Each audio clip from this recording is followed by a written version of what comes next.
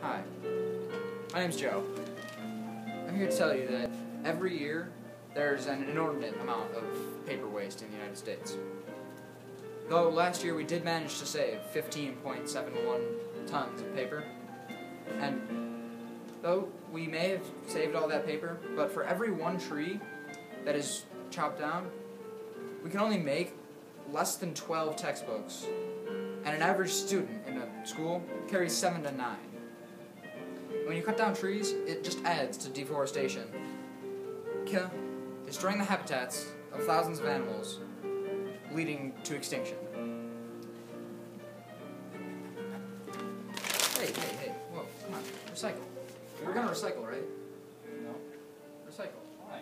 Because you know that last year we say we wasted over 50 tons of paper just at this school.